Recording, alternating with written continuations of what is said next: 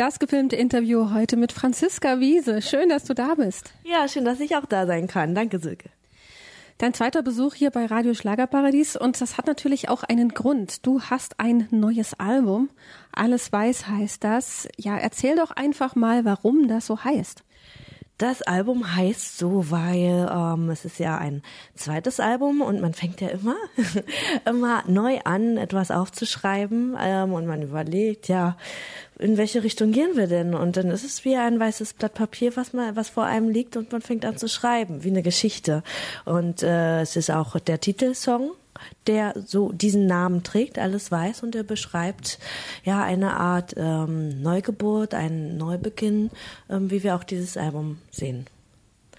Eine Art Neubeginn. Ich habe mir so das Cover angeguckt. Also das Cover wirkt jetzt schon naja, ein bisschen erwachsener kann man sagen. Es ist ja auch irgendwie extrem sexy. Darf ich jetzt einfach oh. mal so sagen? Ja, wie hast du dich denn beim Shooting da überhaupt gefühlt? Weil innen drin sind auch so ein paar Fotos, die in die Richtung gehen. Ähm, ich habe mich wohlgefühlt. Also ich muss dazu sagen, ich war drei Tage mit der Stylistin in Berlin unterwegs, um Outfits auszusuchen und hatte ja äh, Mitspracherecht. Und wir wussten ungefähr, in welche Richtung es gehen sollte. Und jemand hat eben auch gesagt, äh, ja, zieh mal ein äh, Männerhemd an oder wäre das möglich? Oder ähm, dann habe ich gesagt, ja klar, toll, weißes Männerhemd sieht immer gut aus. Habe mich dann auch von allein so dahingesetzt, wie es war. Also ehrlich gesagt habe ich mich sogar in diesem Männerhemd am wohlsten gefühlt, weil es hat nicht gezwickt. Das sitzt locker leger, aber man musste auch gucken, dass da nicht zu viel raus äh, fällt, obwohl jetzt bei mir nicht so viel da ist zum Rausfallen. Ähm, ja, und ähm, ansonsten eben so die Outfits habe ich alle mit ausgesucht. Hm.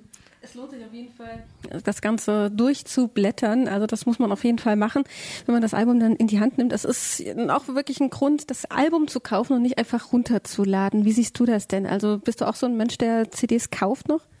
Ähm, ich bin zumindest ein Mensch, der Booklets mag, ja. Und ähm, wenn ich wirklich interessiert bin an der Musik und auch ähm, daran, ähm, was sind das für Texte, ähm, wer hat, gerade ich als Autorin bin sehr interessiert daran, ähm, wer hat denn ähm, den Song mitgeschrieben oder produziert und das steht halt im Booklet immer alles drin und meist nicht so ähm, auf irgendwelchen Online-Portalen.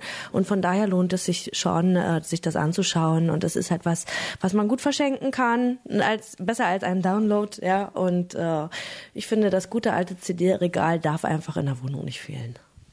Du hast mir jetzt gerade ein Stichwort gegeben, äh, Texte schreiben und wer hat die Texte geschrieben und wer hat daran mitgearbeitet. Ein Name fällt natürlich bei dir wieder ganz, ganz viel auf. Das ist natürlich auch wieder André Stade, aber nicht mehr ganz so viel wie beim ersten Album. Also ist das für dich auch so eine Art Weiterentwicklung, auch mit anderen ein bisschen zusammenzuarbeiten? Ja, genau. Also ich bin sehr froh, dass ähm, wir mit einem anderen Produzententeam noch ähm, jemanden gefunden haben, ähm, der mit mir zusammenarbeiten wollte. Und also ja, welche, die mit mir zusammenarbeiten wollten. Das sind ja mehrere. Und ähm, darauf gekommen sind wir eigentlich durch Alexander Rebak, ähm, mit dem ich ja auch ein Duett aufgenommen habe. Und da also Fairy Tale und daraufhin ja nochmal die Solo-Version Märchen. Und das wurde dort aufgenommen und dort produziert. Und äh, mit denen habe ich noch zwei weitere Songs auch ähm, ähm, geschrieben und eben von denen produzieren lassen. Die sind mit drauf und ansonsten bleibt trotzdem andere Stade mit acht Songs ähm, der Hauptproduzent des Albums. Also never change a winning team. Und trotzdem eine Weiterentwicklung. Und trotzdem die Weiterentwicklung, genau. Also das wollten wir ja auch machen, ähm, noch etwas ähm, zu, um zu schauen, was ist da noch möglich, äh, neue Inspirationen suchen. Ich äh, schreibe auch gern mit anderen Menschen zusammen, um einfach nochmal einen anderen Wind, eine andere Sichtweise mit in die Musik hineinfließen zu lassen. Und das haben wir getan und man hört es, dass sich jetzt das Album einfach ein bisschen poppiger anhört, ein bisschen dance-lastiger. Und das ist auch gut so, mir gefällt's. Ähm, bei dir ist natürlich auch immer ganz, ganz wichtig die Geige. Also die darf wirklich in gar keinem Titel fehlen. Ähm, ich vermisse sie so ein bisschen. Hast du sie überhaupt dabei? Ich habe sie dabei, ja, die sind im Auto. Aber du gehst nie ohne sie irgendwie weg, oder? Doch, auch schon. Ich meine, die kann, man muss sich ja auch überlegen, wo sie, äh, ja, ist sie sicher da, wo, wo ich sie mit hinnehme. Und äh, vor allen Dingen ja jetzt auch im Winter oder so, wenn es draußen zu kalt ist, ist es nicht so gut fürs Instrument.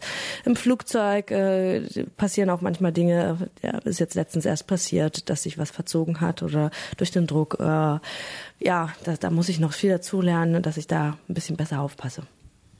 Auf dem Album sind natürlich ganz viele verschiedene Titel drauf und ähm, ich habe so einen persönlichen Lieblingssong, Sag meinem Herzen heißt er. Ähm, welcher ist denn dein Lieblingssong? Oh, ich habe noch gar keinen so richtigen Lieblingssong. Ähm, weil ja, weil ich die Songs ja nicht zum ersten Mal höre und mir dann eins aus, äh, einen auspicken ähm, kann. Ähm, ich finde gerade meine aktuelle Single Ich tanze im Regen toll.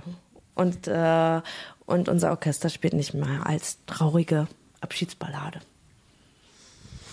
Ich tanze im Regen ist die aktuelle Single, hast du jetzt gerade angesprochen. Das Video hatte jetzt ja gerade auch Premiere.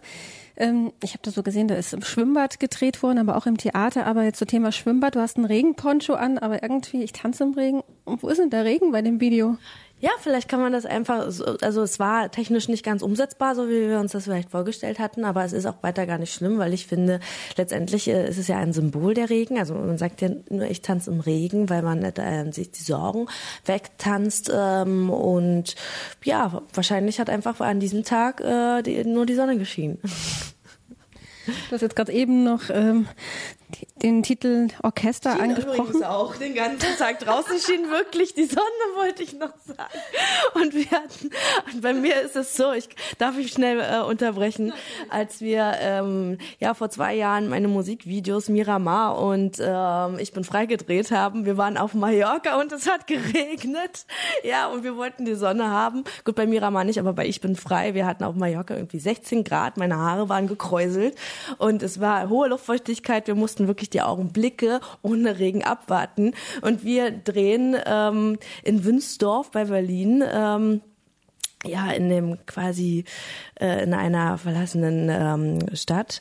Ähm, drehen wir Ich tanze im Regen und drinnen, in, ja, in den Ruinen quasi und draußen scheint die Sonne und es war drinnen so kalt, dass einige krank geworden sind sogar nach dem Dreh und draußen waren es irgendwie 30 Grad. Ja, immer das, was man gerade nicht braucht, hat man dann.